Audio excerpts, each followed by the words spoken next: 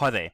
In this video, I'm going to be looking at global financial management, um, focusing on exchange rates and interest rates. Uh, this is part one of three for global financial management strategies. Um, I've split these videos into three uh, different sections just to minimize um, how long they were going to be. Um, so, firstly, we'll start looking at exchange rates and currency fluctuations.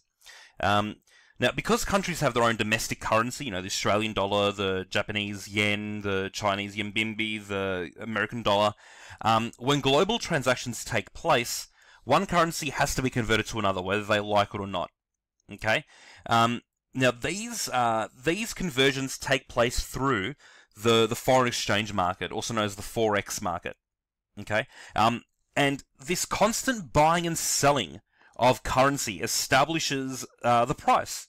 So that demand and supply eventually determines what we know as the exchange rate. So, what are exchange rates? Well, the foreign exchange rate is the ratio of one currency to another. So it tells how much a unit of one currency is worth in terms of another. For example, if one Australian dollar equals 70 US cents, that means one Australian dollar is worth 70 US cents. Basically, if one a uh, you know, if one dollar A equals 70 US whatever it might be, that means one Australian dollar is worth 70 US cents. Um, what are the effects of a currency fluctuation, however? Now, a currency uh, f- uh, appreciation raises the value of the Australian dollar in terms of foreign currencies. So, one Australian dollar is going to buy more foreign uh, foreign currency. Okay.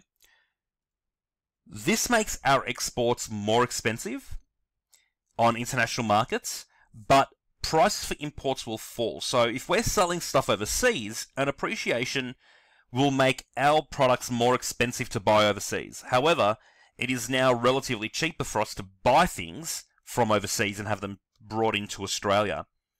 So an appreciation actually reduces the international competitiveness of Australians, um, uh, of Australian businesses trying to sell overseas. Okay, so it's a bad thing for them. On the flip side, a depreciation has the opposite effect. Um, this lowers the price of Australian dollars in terms of foreign currencies. So now, foreign currency buys more Australian dollars. So one American dollar will get you more Australian dollars than the other way around. Now, this makes our exports cheaper. So when we want to sell stuff overseas, it's cheaper. It's better for us. However, if you want to buy something from America on eBay, you might find you're actually going to be paying more. So depreciation, therefore, improves the the international competitiveness of Australian exporting businesses. So depreciation is better for Australian businesses trying to compete internationally. Um, now, with interest rates, a business that plans to either relocate offshore um, or expand uh, domestic production facilities uh, to increase exporting needs money in order to do it. It needs finance to do so.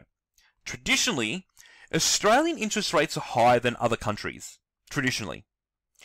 So, if an Australian business borrows from overseas to try and gain um, an interest rate advantage, um, they got to be careful that the currency fluctuations um, don't actually negate that advantage. That they've got to be mindful that currency fluctuations could cause the cheap interest rate to actually be more expensive than domestic rates. So, for example, if uh, the interest rate in Australia is, let's say, 3%, but they can get a 2% interest rate from borrowing from a bank in, um, in America, they've got to make sure that when they take into account the foreign exchange rate, that that 1% um, difference isn't going to be basically uh, cancelled out um, because of that exchange rate um, conversion later. So I hope this brief video on uh, global financial management of exchange rates and interest rates has been useful. The next video continues looking at global financial management strategies, uh, but focusing on methods of international payment. Thank you.